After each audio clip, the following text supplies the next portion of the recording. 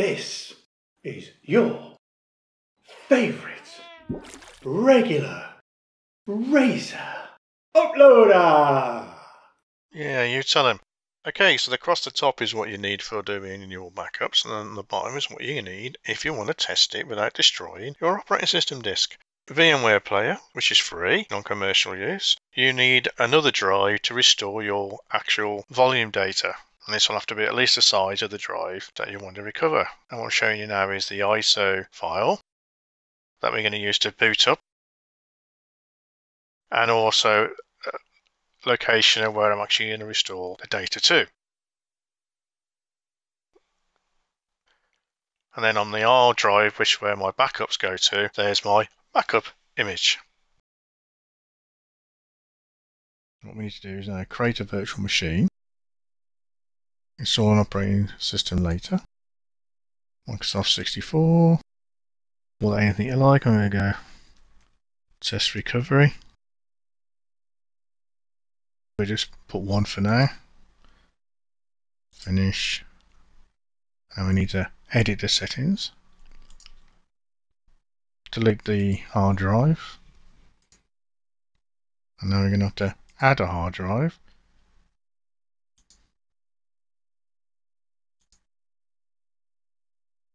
It has to be a new virtual disk. And this needs to be the size of your internal NVMe drive or whatever drive you get all the data on.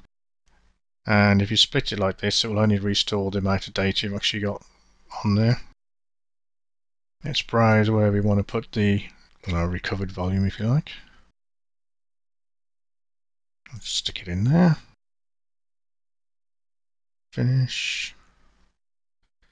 Now we need to tell it to boot off the ISO image. Not that one, is it? It's the this one. Okay. Uh, just for now, let's give a bit of memory and some extra processes.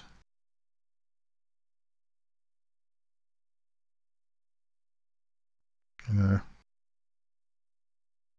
start the machine. It looks extra tiny in my uh, screen because I'm on a 4K display and when you boot in DOS and things like that it's a lower resolution like 640, 480. what you're seeing here by booting up the ISO image it's the same as booting up your hardware from an external USB drive for recovery. There's a Macrium Reflect recovery boot.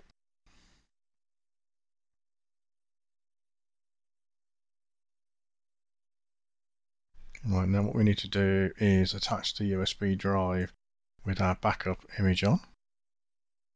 And for me it's this one here giving you a warning here, it's going to take it off your machine, your physical machine, and attach it to your virtual. Just OK. And now we use this option here, which is browse for a backup image. And there's the, the HD drive. There's my backup image. Say OK. Restore images. Select the drive you want to there's our 500 gig drive. And then you don't, you can do all of them, but we only want to test speed things up, it's quite slow. This is a Windows boot drive, and this is a Windows C drive. And then we just let finish. But as a one-off test, or say do it once a month, depends how often you change your machines. Okay, so the backup recovery is finished. Now we need to now close down Macrium Reflect and this will take a little while. And what it's kind of doing now is sorting out the boot sequence and it will reboot itself. So be patient on this point.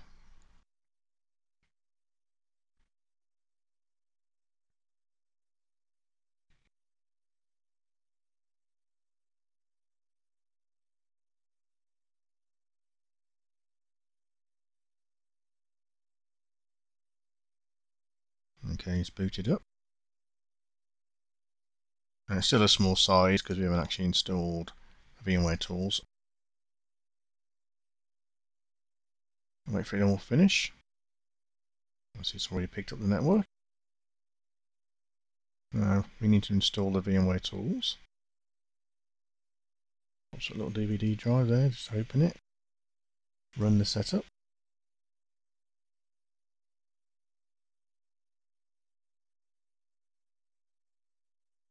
I mean, to prove it's worked or not, you don't probably need to do this. If it's come up like this, you're probably good enough, but if this was like your university machine or uh, Word Office, you might just want to test all the programs load up and oh, okay. We'll reboot it. Now you don't actually have to test this on your source backup device. You can actually do this on another machine. Okay, let's go and change the display settings.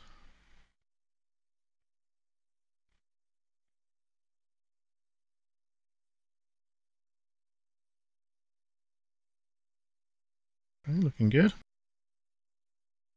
And so once you've tested your programs, your apps and everything else, you're thinking, well, I don't want this machine anymore. So I'll show you how to just clean up after you. Load up your VMware again. Now you can either delete the machine, or you're thinking, well, I don't want to go creating it every time, so you can just edit the machine there. And all you really need to do is get rid of the, the disk. And doing that doesn't actually delete the disk, unattaches it, if you like, from this virtual machine. And you can close that down. That's why I created a fold, right click, delete that lot.